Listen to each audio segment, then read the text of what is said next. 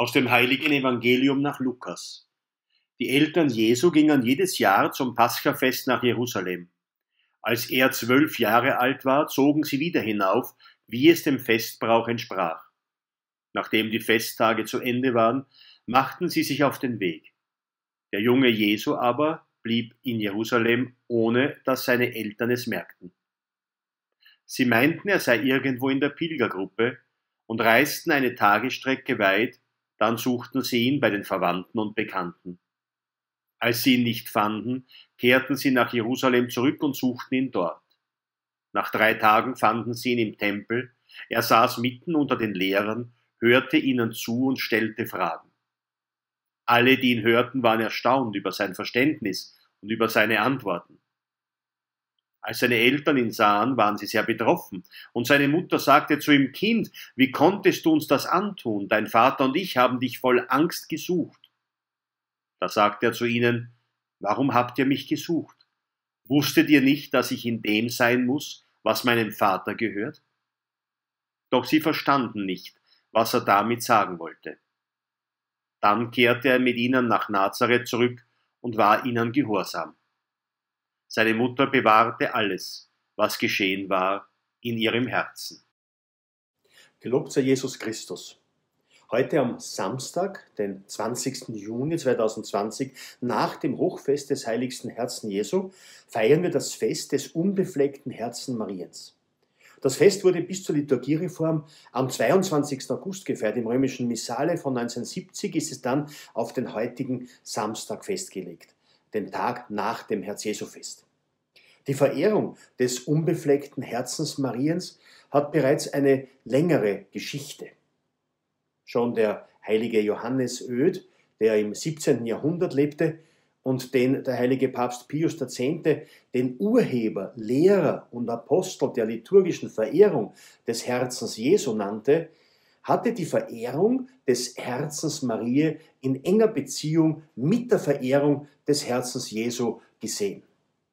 Papst Pius VII., der von 1800 bis zu seinem Tod 1823 sein Pontifikat innehatte, hat die liturgische Verehrung des Herzens Mariens gut geheißen. Und Papst Pius XII. schrieb 1944 das Fest für die ganze Kirche vor, nachdem er am 31. Oktober 1942 aus Anlass der Fatima-Feierlichkeiten die ganze Menschheit dem unbefleckten Herzen Mariens geweiht hatte.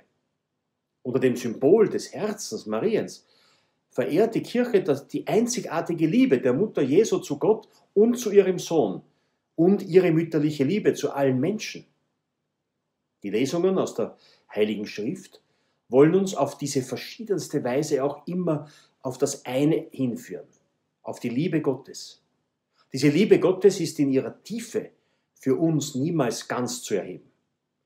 Denken wir an Jesu Erbarmen mit den Sündern.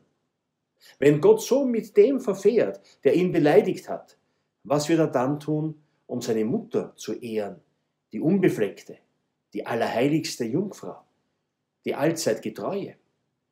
Wenn die Liebe Gottes sich da schon als so groß erweist, wo das Fassungsvermögen des oft verräterischen menschlichen Herzens so gering ist, wie wird diese Liebe im Herzen Mariens sein, die dem Willen Gottes niemals auch nur das geringste Hindernis entgegengestellt hat? Wir können in unserem menschlichen Unvermögen, in unserer egoistischen Blindheit, in unserer Verschließung in uns selber die Weite der Barmherzigkeit Gottes nicht wirklich erfassen. Dies müssen wir einsehen, ohne darüber trostlos zu werden. Aber wir können uns den Worten Mariens anschließen, in denen sich die größte Demut mit der größten Verherrlichung verbindet. Meine Seele preist die Größe des Herrn. Der Mächtige hat Großes an mir getan. Von nun an werden mich selig preisen alle Geschlechter. Großes hat an mir getan der Mächtige. Der heilige Josef Maria Escriva betete, liebenswertestes Herz Mariens, gib uns Kraft und Sicherheit auf unserem Erdenweg. Sei du selbst unser Weg, denn du kennst ja den Pfad und die sichere Abkürzung, die über deine Liebe zur Liebe Christi hinführt. Amen. Gelobt sei Jesus Christus.